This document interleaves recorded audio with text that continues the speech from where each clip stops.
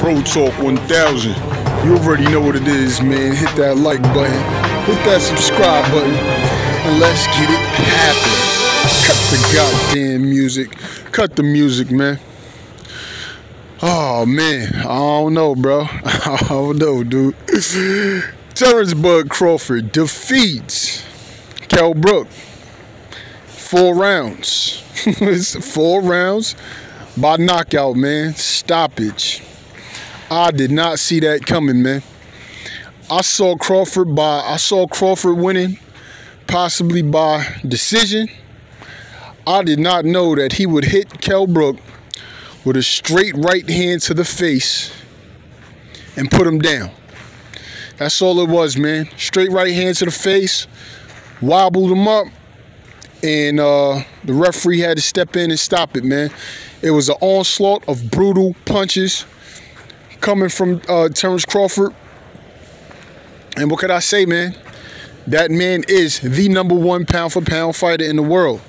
Speed, power, agil agility, uh, ring IQ, all of that transfers up. You know, and obviously he's showing you tonight that he has the power. Uh, but just to recap real quick, not gonna make it too long. Uh, Kell Brook was piecing him up at first, man. If you ain't see the fight, Kell Brook was was tagging him up with the jab, uh, controlling the range, doing beautiful with the jab, was winning all three rounds. Well, I, I say he was winning the first two, and uh, Terence Crawford picked it up in the third round. Third round could have went, went either way. Fourth round, we we didn't need to do any more speculating.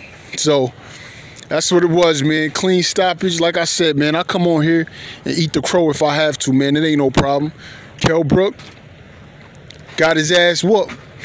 Terence Crawford is a bad man, baddest man on the planet, pound for pound number one in my book, man. So there you have it, man. I'm gonna come back at y'all with another video, man. Bob Arum, Bob Arum back there talking shit, talking about uh about Errol Spence.